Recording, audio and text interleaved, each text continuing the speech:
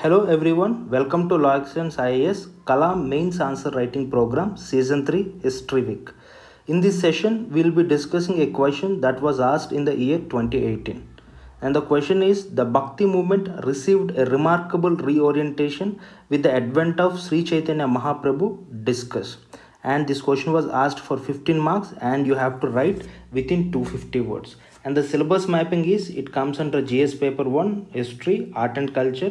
And the topic is salient aspects of art architecture literature form from ancient to modern times. Now we all knew that bhakti movement is a socio-religious reform movement during medieval india. And it is an important event in the socio-cultural history of india. Now what is bhakti movement? Basically bhakti movement is a defensive response from hinduism to counter the advent of Islam. Now in this question we have two important components. In one component you have to write the significant teachings and contributions of Sri Chaitanya Mahaprabhu and how it tried to reorient the Bhakti movement. This is one component and the other component is you have to write the nature and features of the Bhakti movement.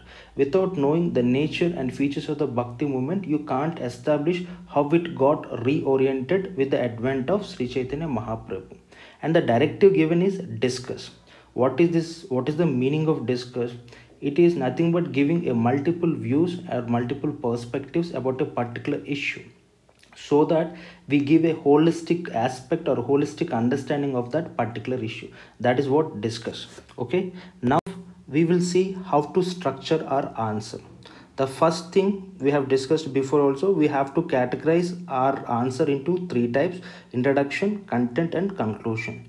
In an introduction we will write in brief what exactly this bhakti movement is in a very broader perspective right? Then we will also try to establish the role the gurus played because the question is about sri chaitanya mahaprabhu.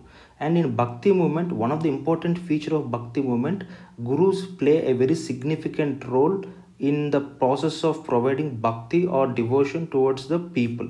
So we have to establish the role of gurus in the process of this bhakti path which is a crucial thing in bhakti movement. This is what introduction. And next in content of course it is for uh, 15 marks and you have to write within 250 words. We will see we have to be little more elaborative when you write content. Now you have to write something in brief with respect to the origin and spread of this bhakti movement where it got originated and who was the founder of it and you also you have to establish where it got really spread okay next you also have to mention about its major exponents though we have to focus on sri, Ch- uh, sri chaitanya mahaprabhu but we should also brief about various exponents like uh, uh, kabir uh, mirabai guru nanak Adi Shankaracharya and Ramananda. So you have to give a list of exponents. No need to write detail about these people. Okay. Next thing you have to give what is the nature and features of this bhakti movement in brief. You should you should elaborate on what constitute the bhakti movement is. Next the content this is what the real uh, demands of the question. You should know you should write something about sri chaitanya mahaprabhu a brief lines about his early career. Then you should emphasize on his teachings. This is an important area where you have to focus okay next thing how this his teachings helped in reorientation of the bhakti movement these are the two central points where you can elaborate much much time okay next conclusion in conclusion you have to write how bhakti movement at uh, altered the socio-political landscape of the India. You can try to give uh, what you call the positive effects of this Bhakti movement. Okay. Now we will discuss the various aspects asked in this question through an answer written by a student. Now we will see what he wrote in the answer.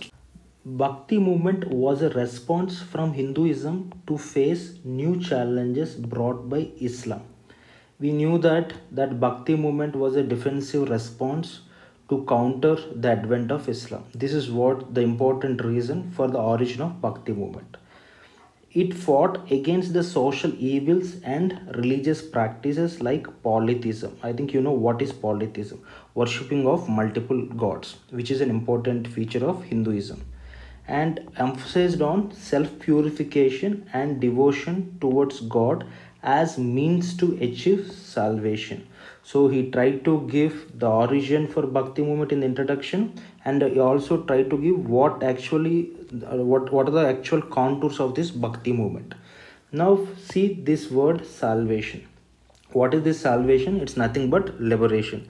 And we all knew that salvation is an important concept in hindu tradition and in hindu philosophy. Of course similar concepts are there in other religions okay? Now see bhakti is not a new concept. It is there since vedic times for example in Srimad Bhagavad Gita it was said that jnana means knowledge karma means action and bhakti means devotion. These three are essentials to achieve salvation. So in that sense bhakti is not a new concept right?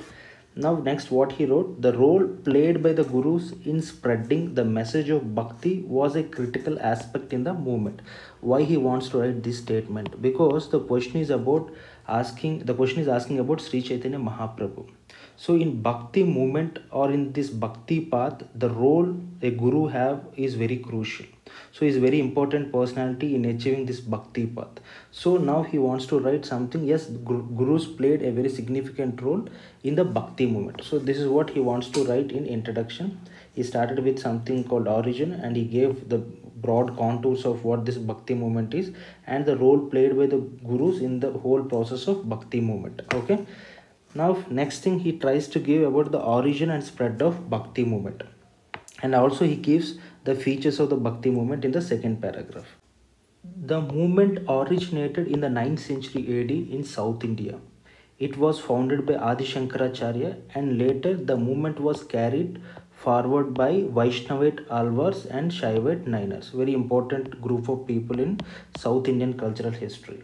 And they traveled from place to place singing hymns in Tamil, praising their gods. For example, Alvars used to praise Vishnu and Nainars used to praise Shiva and they also initiated a movement of protest against the caste system too and they want to uh, what you call eliminate the dominance of brahmins and also they tried to reform the system the existing social system there next we will see it came to north india around 13th and 14th century here the prominent exponents of the movement were kabir nanak Sri Chaitanya, Mirabai. Of course, you can add a list of exponents here. For example, you can write Tulsidas, you can write Tukaram, you can write about Ramananda, you can write about uh, Surdas. So there are group of exponents, list of exponents whom you can quote. Okay.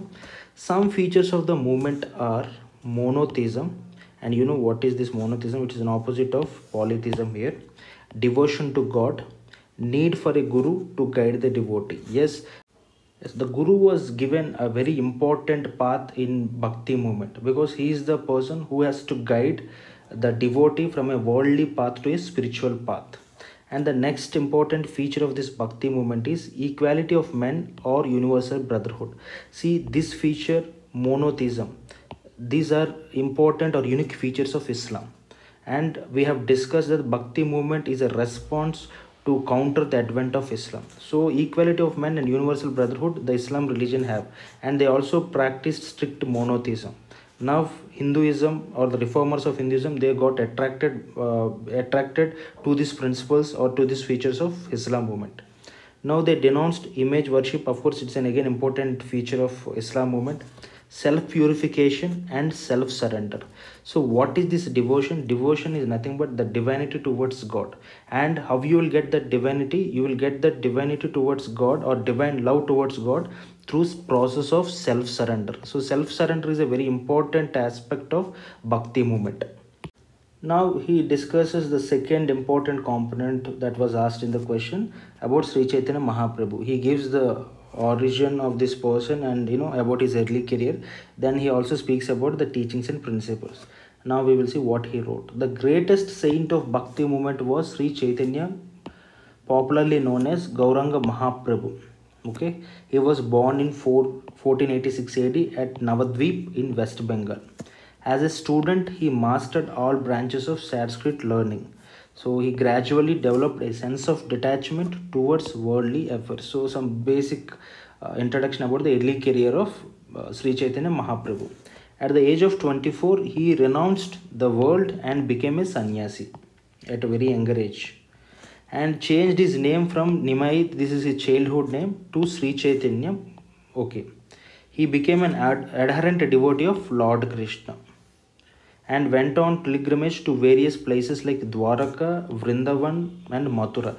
These places have a relationship with the life of uh, Lord Krishna, and he died in 5, 1533 AD at Puri. Okay, now we will look into Chaitanya Mahaprabhu teachings. He emphasized on divine love.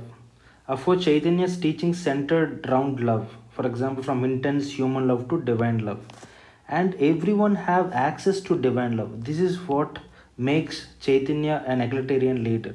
Now he provided this access to the divine love to all the people, which was not the case before. And the second important contribution is he composed kirtanas in praise of Lord Krishna. Singing kirtanas, chanting, and dancing are the forms to achieve the highest spiritual order and means to achieve salvation. So, according to Chaitanya Mahaprabhu, singing these kirtanas and uh, chanting God's name and dancing are the three important means to achieve the liberation or to achieve the moksha. And another important contribution is Chaitanya's Rasalila. This is found mentioned in Srimad Bhagavad Gita. Is an important contribution to Indian philosophy. What is this uh, Chaitanya's Rasalila says about? It tells that if one faithfully hears Sri Krishna Rasalila and other pastimes of Lord Sri Krishna with Gopikas, then one will no longer be agitated by Maya and they will be no longer destroyed by lust and one will become very calm and peaceful. This is what important preaching of Chaitanya from Rasalila. And he was a champion of social liberation. Yes, he denounced caste system and because of this he got mass following and he stood for universal brotherhood of man. And he opposed the domination of the priestly class though he might, he was a brahmin but he opposed the domination of the priestly class and the superfluous rituals and ceremonies because these are not the means to achieve salvation according to the bhakti movement. What is the mean to achieve salvation? It is completely dev- devotion. What is this devotion? Devotion has to be based on divine love and how this divine love will be achieved according to Sri uh, Sri Chaitanya Mahaprabhu that is through chanting God's name that is through singing kirtanas and also that is through dancing. So through these three forms you will get divine love and through which you will get salvation. He stood for truth and non-violence. His teachings were simple and with also a universal appeal. So these are the important teachings of chaitanya mahaprabhu okay now he wrote another paragraph to see that how uh, the teachings of uh, Chaitanya Mahaprabhu brought a reorientation in the Bhakti movement. His strong adherence to devotion, which was not that much high when compared to the other exponents, and the methods of chanting God name, which is a new thing actually, singing and dancing attracted huge number of masses. Yes, Sri Chaitanya Mahaprabhu made Bhakti movement a mass movement, especially in regions of Bengal, Bihar, and Odisha. His simplification of preachings and providing access to all attracted the downtrodden class. Of course, he teach he taught in vernacular languages too, and also he provided access for divine love to all the classes, especially the downtrodden classes. He was instrumental in making the movement a mass scale movement. So this is what gave the Bhakti movement a reorientation. Now we will see the last part of the answer, that is the conclusion part. We will see what he have written in this conclusion part. Bhakti movement with its emphasis on universal brotherhood and preachings through vernacular languages altered the socio-political landscape of india. Yes very important observation because bhakti movement preached in vernacular languages it promoted regional languages so it resulted in or it brought in a change in the political landscape of India to a greater extent. Most of the South Indian languages originated during the time leaving the Tamil. Okay. And this movement got universalized by its great greatest exponent Chaitanya Mahaprabhu. The message of him is now propagated through ISKCON movement across the world. So he tried to relate you know the bhakti movement to the alteration of the socio-political landscape. And he also tried to bring in chaitanya mahaprabhu and how he was instrumental in spreading bhakti movement to a large scale mass movement. And he also tries to uh, know look into the relevance of uh, Sri Chaitanya Mahaprabhu preachings right now through this ISKCON movement. So it is a balanced conclusion. So his introduction is good and structuring of the answer is fine. Of course, you can write, you can elaborate on the teachings. Here he haven't elaborated much. He gave some six or seven bulletin points, but there you can elaborate because that is what the essence of the uh, question is. And here where he tried to reorient how Chaitanya Mahaprabhu preachings reoriented the bhakti movement. Maybe you could have elaborated further on this paragraph because this is also a very important area. Other than that, he tried to address various uh, demands of the question. Now we will see a question for uh, tomorrow's session. How do you justify the view that the level of excellence of the Gupta numismatic art is not at all noticeable in later times? This question was asked in the year 2017 and it was asked for 10 marks and you have to write within 150 words. So please make an effort to write an answer and please put it in the comment section and we'll be discussing the approach and how to write this answer in tomorrow's session. So with that we have done today's discussion. So thank you one and all